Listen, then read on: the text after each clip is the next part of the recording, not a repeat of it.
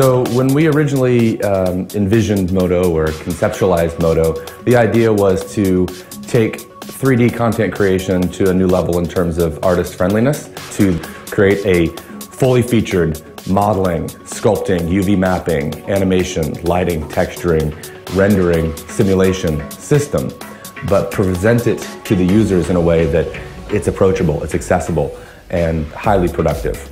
I definitely consider myself as, as an artist, but as a designer, the poster child of somebody who doesn't have the patience and doesn't have the time or even the interest in a way to learn software. I just want to get to that beautiful end result. And having explored all these other pieces of software, Modo really was the best answer for me. And consequently, it's the one that I do suggest um, to students and to colleagues. As a designer, I think in 3D a, a lot, so doing a 2D drawing is sort of only giving you know, that one information from that one angle, where when I do it in 3D, I can have control over all the different angles. The world is changing, so uh, to me now it helps me incredibly to uh, model something the way I design it, uh, right as almost the same step. You know, it's incredibly professional and, and just amazing to see simple models or whatever you're modeling rendered in the way uh, Modo does. A lot of directors want to see not just a, you know, not just a drawing like we used to do, but seeing it in the context of what it's going to look like in a final frame on the screen. Getting a lens on there quickly to give um, to give an accurate idea of okay, what's what's this going to look like? You know, is it going to fit? So yeah, those answering those kind of questions early on it gives the director a good idea of what it's going to look like in the final frame of film. It also starts to um, ask and answer questions that we're going to have to tackle in the shot production process, you know, the visual effects shot production process. My first full car I modeled in Modo was the uh, hover or the cars for Total Recall. So interacting with the director, he likes to walk around and give his input. So um, it was very uh, fast and gratifying to uh, have within a day or two something he could look at. I can give them a, an idea, a range of ideas, and show it to them very early on in a way that represents the final product. It's still very much for me in sketch form, but to most people, because the rendering that Modo can yield, it gives you the world space and the equipment as a virtual photographer to be able to take your designs, put them in it, and have it look photographic? Well, I think you basically have to think like a photographer when you're setting up your scene. Um, you start with that, but then you um, then you really get into the uh, the efficiency of 3D, especially with with product shots. You know, you have a virtual studio that you can always come back to, and it'll be exactly the same.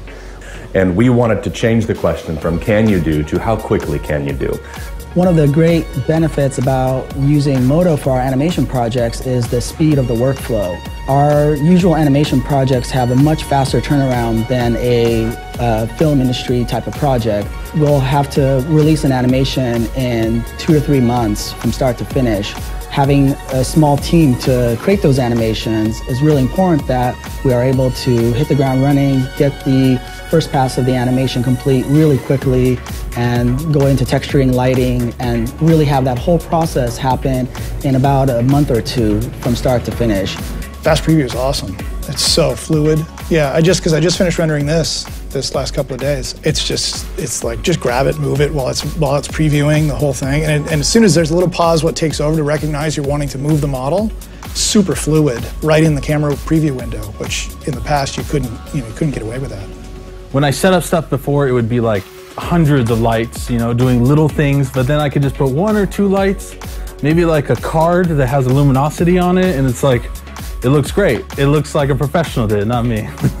For my work, because I'm from the Nordic countries and we have smaller studios, so we have like a, a, a lot less artists working on the project. So we have to have a single artist who go through the whole look development process from the beginning of texturing and modeling all the way to the final uh, look development product that is the commercial of course. So Modo is like the perfect for that. It's, it's good modeler, good texturing, tool, UVs, and renderer, and then you get it all done in one package really fast. Modo is fun. Uh, one of the things is, is people tell you people use Modo is they like using Modo. If they have a choice, they use Modo because if you're in Maya all day or you've been using Lightwave for six or seven years, jumping in a new program is fun. And uh, Modo was just enjoyable. It was a fun way to model. It was a little bit different, uh, sort of a unique, sort of futuristic interface, and you would just find a reason to use it. Its selection tools are fantastic. It's, I find it very fast compared to other modelers. Um, everything I need to get to is, is very quick to access, doesn't take too many clicks. We pretty much use Modo on every job that requires any sort of asset prep. So, you know, Iron Man has very tight seams and very close panels and everything, so a lot of things have to be adjusted.